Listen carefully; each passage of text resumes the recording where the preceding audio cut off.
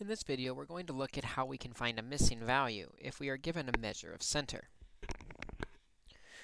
We're going to look specifically at the mean, and we want to recall that the mean is where all the items are the same, or all the data is spread out evenly between all the different possible entries.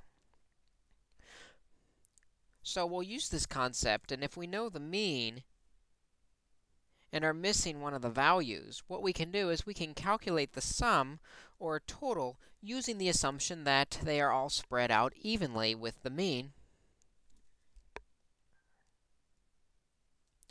So let's take a look at an example where we calculate the sum using the mean.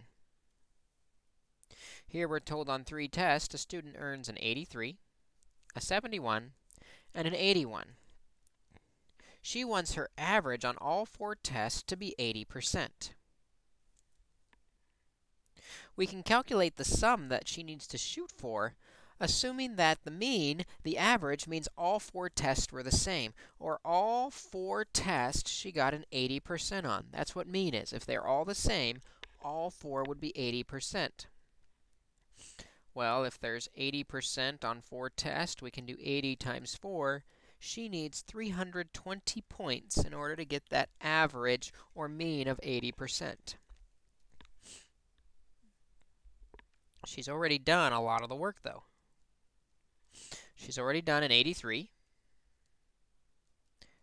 She's already done a 71. And she's already done an 81. If we add that up on our calculator real fast, 83, 81, and 71 equals 235 points that she's earned so far. So in order to reach this goal of 80%, what does she need? Well, 320 is the total.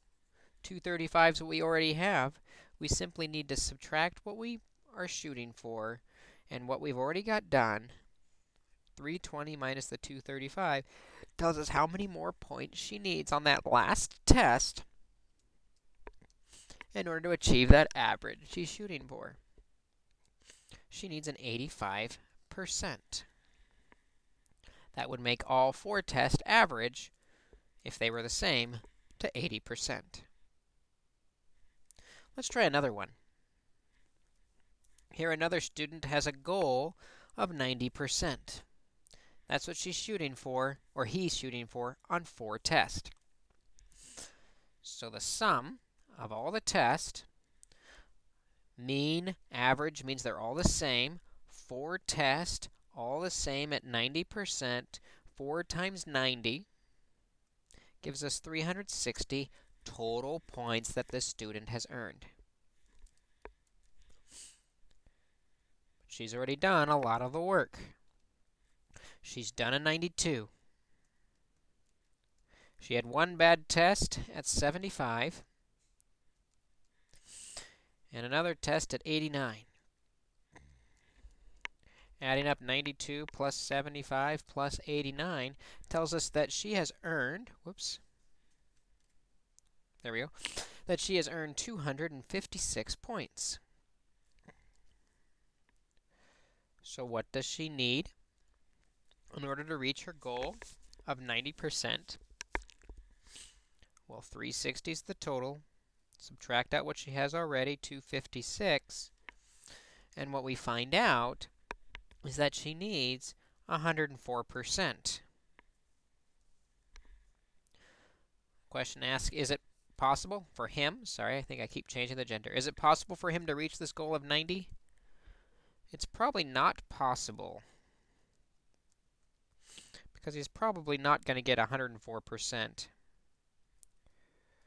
without, we'll say, 4% extra credit.